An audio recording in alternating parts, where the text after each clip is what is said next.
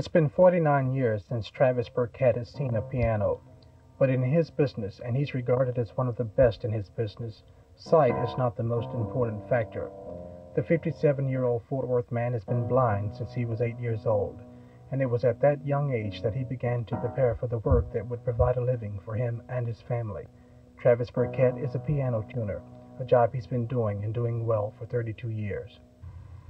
When I got out of school and discovered I was supposed to make my own livelihood, I began tuning pianos.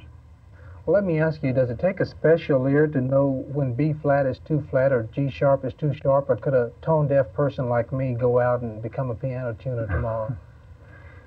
oh, that's somewhat a hard question to answer. I get asked that almost every day. I would say you don't have to have an exceptional, exceptionally good ear for music to become a piano tuner because tuning in itself is uh, setting the beats between intervals in the piano, which anyone with a trained ear can hear. And he doesn't necessarily have to know music other than the notes, of course, else he wouldn't know what note he was hitting or when to hit it. But uh, a good ear for music is not a requirement to be a good piano tuner, I would say. It helps. The Van Cliburn Quadrennial Piano Competition, one of the most prestigious musical events in the world, is held in Fort Worth. Travis Burkett has been the official piano tuner for that competition since its inception. And next September, when the fourth competition is held, Burkett again will take his position on the stage. Already, about 900 persons have inquired about the competition next year, including persons from about 50 foreign countries. It will be Burkett's job to make sure the promising young pianist, as well as Van Cliburn himself, get the best possible sound from the 88 key instrument. My musical background was very limited.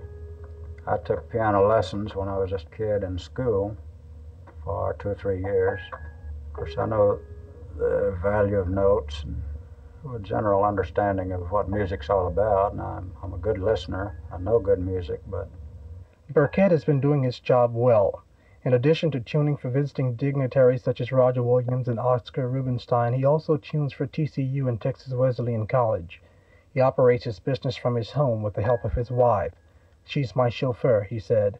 He points out that in 1950, when, the, when he first moved to Fort Worth, the piano tuner received about $7.50 for one tuning job and now a tuner receives about $17.50 for a job.